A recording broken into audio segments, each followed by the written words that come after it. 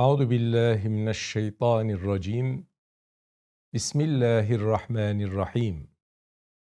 الحمد لله رب العالمين والصلاة والسلام على رسولنا محمد وآله وصحبه أجمعين. أستعيذ بالله الذي خلق الموت والحياة ليبلوكم أيكم أحسن عملاً. Eyyukum ahsenu amela. Sadakallahul azim. Ve kâle Resulullah sallallahu teala aleyhi ve sellem Ahlis dineke yekfikel kalilu minel amel. Sadaka Resulullah ve neteka Habibullah. Ve kâle Ataullah el-İskenderiyyü rahmetullah aleyh Ma kalle amelun beraze min kalbin zahid ve ma kethura amelun beraze min kalbin ragib. Lebin vasfına sultanım, dehan aşık, zeban aşık. Sana ey mihri tabanım, zemin aşık, zaman aşık. Kıymetli kardeşlerim, Ataullah İskenderi Kaddesallahu sırrahu bir önceki hikmetinde bizlere kiminle oturup kalkacağımızı tembih etmiş. Allah'ı tanıma gayreti içerisinde olanların ruhen aralıksız ve kesintisiz miraç derdinde olanların her zaman kendinden daha kıymetli insanlarla oturup kalkması gerektiğini söylemiş. Eğer ilim bakımından, amel bakımından, hikmet bakımından ve hal bakımından bizden daha düşük, daha seviyesiz insanlarla oturup kalktığımızda nefsimize kendini her ne kadar iyi hissettirse de bizi yolda bırakacağını tembih etmişti. İnsan bazen öyle bir kimseyle arkadaşlık eder ki arkadaşı sadece nefsini düşünür, nefsinin menfaatini önceler. Böyle bir arkadaşta zaten hayır yoktur. O esfeli safilinden birisidir. Sadece kendisini düşünen dost dost olmaz.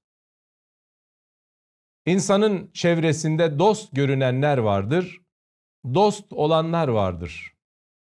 Dost görünenler bir derde, bir sıkıntıya, bir kuyuya düştüğümüzde 10 metrelik bir kuyuya 5 metrelik iple gelirler.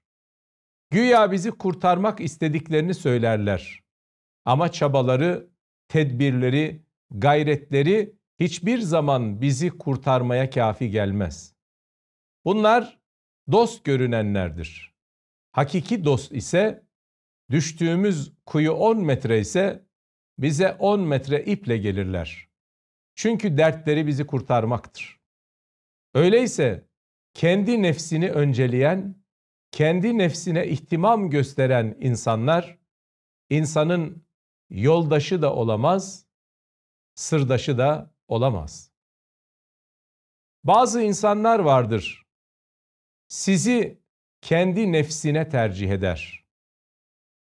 Bunu da dikkatle takip etmek gerekir. Hele günümüzde saf manada bir isar yani müminleri kendi nefsine tercih eden bunu da sırf Allah rızası için yapan insanların sayısı çok azdır. Başlangıçta bizi kendisinden daha fazla düşündüğünü izhar etmeye çalışan dostların Allah'tan kaynaklı değilse, fena ve bekayı kesbetmiş, muhlis veya muhlas bir zat değilse, bu halleri çok fazla uzun sürmez. Bir gün gelir, sizi sırtından atı verir. Bir gün gelir çok sevdiğini, canından fazla sevdiğini ve kıymet verdiğini söyleyen kişi sizi yolda bırakır. Arifi billah olmayan insanlar ekseriyetle muhataplarını kendilerinden daha kıymetli olduğunu söyleseler de bu düşünceleri kısa süredir. Bu sebepten dolayı onların bu tavrına, bu sözüne kanmak safdillik olur. Kendini sizden üstün görenler zaten esfeli safilindir. Sizi ısrarla kendinden daha kıymetli addedenlerin bu tavırları arifi billah değillerse uzun sürmez. Onun için buna aldanmayınız. İkisi de aslında yola çıkılacak gerçek bir dost değildir. O zaman bu alemde kimi dost edinmelidir?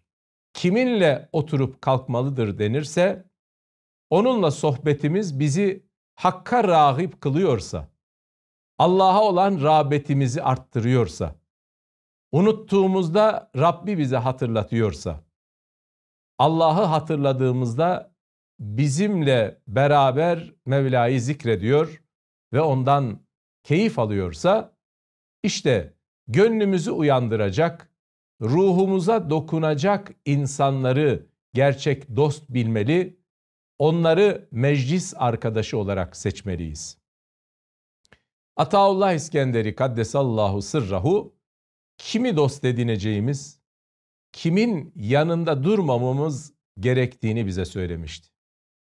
Efendimiz sallallahu aleyhi ve sellem biz müminlere etrafımızdaki evlatlarımıza, hocaysak talebelerimize, arkadaşsak dostlarımıza İslam'ı anlatırken, onlara hakkı, hakikati haykırırken nasıl davranmamız gerektiğini şöyle tembih eder. Yessiru ve la tuassiru. Beşşiru ve la tuneffiru buyurur. Ey ümmetim! Arkadaşlarınız, talebeleriniz, evlatlarınız sizin yanınıza gelip sizden İslamiyeti, sizden hakikati öğrenmek isteyenlere usulünüz ve uslubunuz şöyle olsun. Yessiru ve la tuassiru. Yessiru kolaylaştırınız ve la tuassiru zorlaştırmayınız. İmam-ı Rabbani Kaddesallahu sırrahu tarikat aliyenin bir tarikata intisap etmenin, bir mürşidi kamile biat etmenin asıl gayesi ve tek gayesi Hazreti Allah'ın rızasını kazanmak olduğunu söylerken gayenin dışında bir de seyri sülükün neticesinde insana verilecek olan meyveden ve semereden bahseder. Gaye bu değildir ama bu yola girenler ciddi çalışırlarsa şu iki şeye aşina olurlar. Bunlardan birincisi itikatta yakin ve amelde yüsür. İtikatta yakin demek gayben iman ettiğimiz her şey gözümüzde görünmese de görülür gibi olur. Müşahede makamına terakki eder insan. Görmez ama görür gibi olur. Bütün şüpheler izale olur. Tabii ki insan için Allah'ın varlığında, cennetin cehennemin varlığında, ahiret hayatının, hesabın, kitabın varlığında ilk itminan mertebesi budur. İtikatta yakin yani görür gibi olmaktır. En ta'budallaha ke enneke terahu. Sanki Allah'ı görür gibi ibadet etme makamına ulaşmaktır. En ta'budallaha ke enneke terahu. Birinden bir alacağınız var. Daha önce ona borç vermiş veya ona bir iş yapmışsınız. Elinizde bunu belgeleyecek hiçbir senet olmasa, hiçbir kefil olmasa, hiçbir teminat olmasa insan yüksek bir alacağı da yüksek meblağdaki alacağı hususunda sürekli korku yaşar. Sürekli endişe yaşar. Tereddütler yaşar. Ya ödemezse der. Onun bu durumu tereddütler ve şüphelerle doludur. Ama borcu verirken veya ona bir mal satarken ileri tarihte alacağına dair en kuvvetli kefilleri alsa, meşru bir şekilde teminat mektubunu alsa, devlet garantisi olsa, çekleri, senetleri onun karşılığında rehin alsa, bütün tedbirleri aldıktan sonra biri boş çıksa bile diğerlerinin boş çıkma ve karşılıksız çıkmak gibi bir riski olmadığı bir zamanda insan için o borcunu tahsil etmesi henüz husule gelmemiş de olsa o borç tahsil edilmiş gibidir. Yani görmek var, görür gibi olmak var. Tahsil etmek var, tahsil etmiş gibi olmak var. Artık elinizde çekiniz, senetiniz, teminat mektubunuz, kefilleriniz ve rehinleriniz var. Bundan sonra borcunu alamama endişesi diye bir şey olmaz. Tereddütü diye bir şey olmaz. O alacağınıza karşılık istediğiniz gibi bir yatırım, istediğiniz gibi bir adım atabilirsiniz. Henüz borcunuzu tahsil etmediniz ama tahsil edilmiş gibidir. Çünkü kefil var, rehin var, teminat mektubu var, karşılığı var. Bir de size borçlu olan kişinin işleri gayet tıkırında giriyor. Hiçbir borcunu aksatmıyor. Çok fazla mal varlığı var. Bütün bunları gördüğünüzde artık siz alacağınızla ilgili bir tereddüt yaşamazsınız. Almış gibi huzur, almış gibi itimat ve itikat içerisinde olursunuz. İşte bir insan tarikat-ı aliyede terakki edince zikrullah'a devam ede ede Ela bi zikrillahi tatmainnul kulub buyuran sevgili Allah'ımızın davetiyle gösterdiği istikametiyle terakki ederse artık kalbinde öyle bir itminan huzura gelir ki velayet makamına çıkan bir veli için bütün gaybi olan şeyler gözle görülmez. Ama gözle görülür gibi olur. Az önce verdiğim borç misalinde olduğu gibi. Bütün teminatlar alındıktan sonra o borç tahsil edilmiş gibidir. Sizin için artık yüzde bir bile kaygı yoktur. Çünkü borcunuzu tahsil edeceğiniz kesindir. Ama bundan bir sonrası daha vardır. O borcun bizzat tahsil edilmesidir.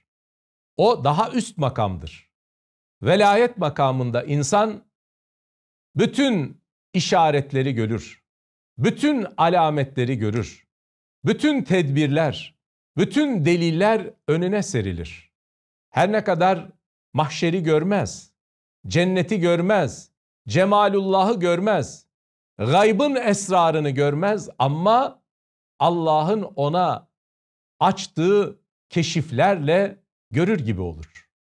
Artık hiçbir kuşkusu kalmaz.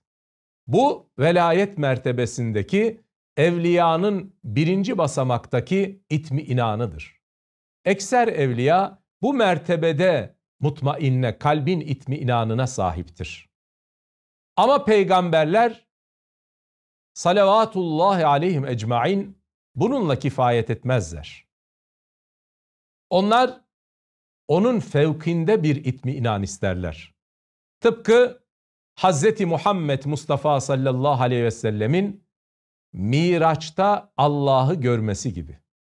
Tıpkı Hz. Musa'nın ey Musa Rabbinin ona ey Musa küçük büyük ne istersen benden isteyesin buyurduğu zamanda Hz. Musa'nın Rabbi erini andur ileyk demesi gibi. Ey Rabbim bana cemalini gösterir misin demiş. Niçin Allah'ın cemalini istiyor? Halbuki Hz. Musa Mevla'nın kelimullahı, Allah'ın varlığında, birliğinde, güzelliğinde, cemalinde, celalinde tereddütü yok. Ama o velayet mertebesindeki bir itmi inana sahip. Ötesini istiyor. Artık görür gibi olmak değil, görmeyi arzuluyor. Onu kim arzulamaz ki? Ama Hz. Musa'ya bu dünya hayatında görmenin kanun-u ilahiye, nizam-ı ilahiye aykırı olduğu için Hz. Muhammed Mustafa sallallahu aleyhi ve sellem mahbubu Rabbil alemin olduğu için bundan istisna edilmiş ama Hz. Musa'ya bu duasına icabet edilmemiştir. Bu talebine karşılık verilmemiştir. Kâle len tarani beni bu dünyada göremezsin denmiştir. İbrahim aleyhisselam da velayet makamında Cenab-ı Hakk'ı görür gibidir. Allah'ın bütün yaptığı fiilleri gözüyle görür gibi müşahede makamındadır. Ama gözüyle görmemiştir. Onun için İbrahim aleyhisselam ve iz kâle İbrahim Rabbi erini keyfe tuhyil mevta kâle evelem tu'min kâle bela velakin liyatmainne kalbi buyurmuştur. Birinci mertebede itminana sahiptir İbrahim aleyhisselam. Görür gibi olacak bir mertebeye ulaşmıştır. Ama her peygamber gibi o da gözüyle görmek istemiştir. Allah'ım ölüleri nasıl dirilttiğini bana gösterir misin demiştir. Allah Celle Celaluhu keyfiyeti sual ettiğinden dolayı evelem tü'min diyerek ona sualle sualle cevap vermiş ve sonra İbrahim Aleyhisselam hayır ya Rabbi senin yaratıcı olduğuna iman ettim. Ben sadece görür gibi olma makamından gözümle görecek ru'yet makamına yükselmek istedim. Onun için kapını çaldım demiştir. İşte tarikat-ı aliyede velayet makamına ulaşan yani ilk fena hali yaşayan, kalbindeki bütün masivayı atıp sadece Allah'ın sevgisi gönlünde kalan bir salik için iki şey husule gelir. Bunlardan birincisi itikatta yakindir. Yani görür gibi ibadet etme makamıdır. Sonrası da vardır ama sonrasına çok nadir insanlar terakki edebilirler. Biz buna tasavvuf ifadesiyle kemalatı nübüvvet diyoruz. Yani peygamberlerin bil esale sahip oldukları nübüvvet kemalatıdır. Onlar tıpkı Hazreti İbrahim aleyhisselam gibi, Hazreti Muhammed Mustafa sallallahu aleyhi ve sellem gibi Allah'ın kendilerine murad ettiği kadar ikinci mertebedeki itminanı da yaşarlar. Onlar bil esale bu itminanı yaşarken peygamberlerin hakiki varisleri, kamil varisleri velayet makamındaki itminanı da yaşar, tad tadarlar. Kemalat-ı nübüvvet makamındaki itminanı da bil esale değil, bil verase yani peygamberlerin kamil varisleri olması hasebiyle sultanın hizmetçisi mesabesinde nasıl sultan için kurulan sofradan orada bulunan hizmetçiler de tadıyor, istifade ediyorsa bir Allah dostu da tam ittiba ettiği zaman bu yolda ona görür gibi değil, görme mesabesindeki itminan da verilmiş olur. Yessiru ve la tuassiru. Bu iş nasıl tatlandırılır? Üstadım Mahmud Efendi Hazretleri buyururdu ki, nefse ağır gelen şeriatın ahkamı tarikat sayesinde tatlandırılıyor. Çünkü zikrullah'a devam eden kardeşlerimiz, sünnete ittiba ile beraber vazifelerini yerine getirenler yavaş yavaş perde pey, peyderpey iki şeye sahip oluyorlar. Gaye bu değil. Maksat bu değil, amaç bu değil. Hepsinin tek bir gayesi var. Allah'ın rızasıdır. Ama Cenab-ı Hak yolunda olanlara lütfediyor. İtikatta yakin, görür gibi iman edecek bir seviye. Zaten bu husule gelince amelde de yüsür kendiliğinden kolaylık husule geliyor. Artık nasıl alacağını bütün teminatlarıyla garanti altına almış olan bir tüccar hiç endişe etmeden o gelecek olan parayla farklı yatırımlara adım atabiliyor, arkasına bakmıyorsa bir mümin de tarikat haliyede terakki edip itikatta yakın husule gelince artık ameller, bu yolda koşmaklar, coşmaklar, bu yolda her şeyini ortaya koymaklar ona zevk veriyor, ona aşk veriyor, ona iştiyak veriyor. Artık bedeni yorgun düşse de ruhu hiç yorulmuyor. İza kânetin nüfusu kibara taibet fi muradihel ecsam denilmesinin sebebi budur. Bu beyit üstadımız, verimi, nimetimiz, baş tacımız Efendi Hazretlerimizin yanında okununca dikkatini çekmiş. Nasıl nasıl bir daha okur musun demişti. Tekrar tekrar o beyti, o mısrayı dinlemiş, muhtemelen ezberlemiştir. Çünkü kendisini anlatıyordu. Buyuruluyor ki, İzâ kânetin nüfusu kibara. Nefis tabiri bazen ruh manasında kullanılır. Allahu yeteveffel enfüs. İşte burada da enfüs kelimesi ruhlar manasında kullanılmıştır. İzâ kânetin nüfusu kibara. Bazı kullar vardır ki onların ruhları büyük yaratılmıştır. Büyük maksatlar için, büyük gayeler için, büyük himmetlere sahiptir. Onların yangınları, onların alevleri, onların ateşleri bütün kainatı kuşatacak kadardır. İza kânetin nüfusu kibara. Eğer bir kulun nefsi büyük olursa taibet fi muradihel ecsam. Onlar önlerine ne çıkarsa ötesini isterler. Veraul vera derler. Ben öteler öteler gayemin malı.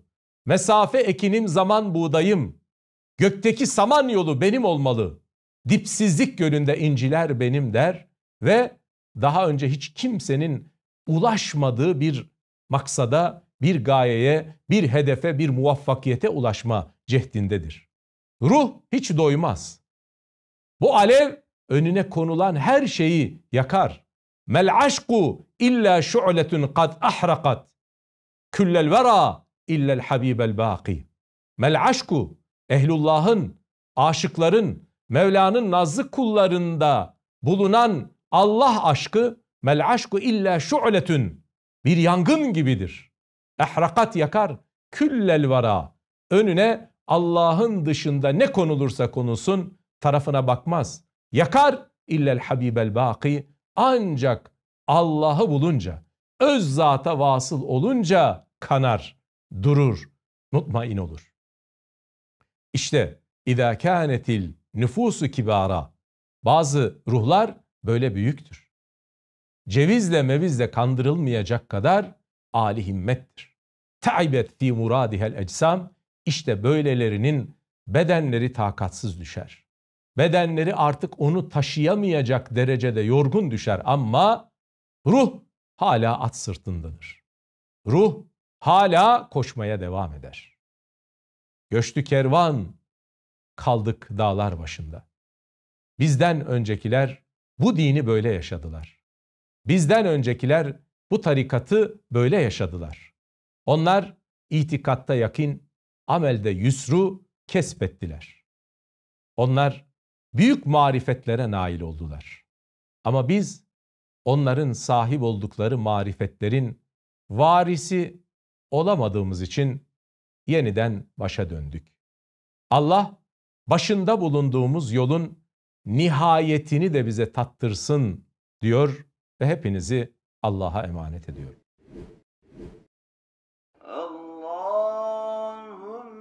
صل على سيدنا محمد وعلى آله